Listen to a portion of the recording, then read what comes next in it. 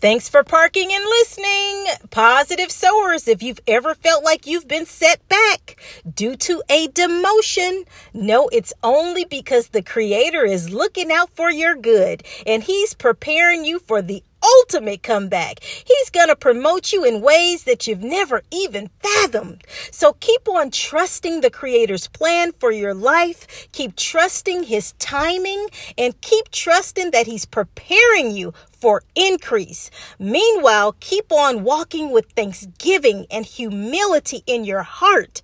And note, look inward. Learn from whatever the lessons are that you need to learn.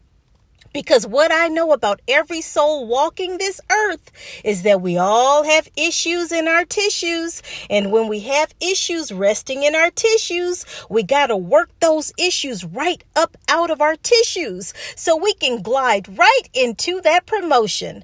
But whatever you do, don't beat yourself down. Don't weep and don't wallow in self pity. Simply pick yourself up and tell yourself you got this because it's only a minor setback for the ultimate comeback.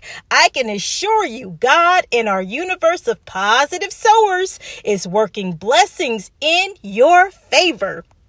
Now learn, grow, and prepare for your ultimate promotion because it's on the way. Know that I love you guys.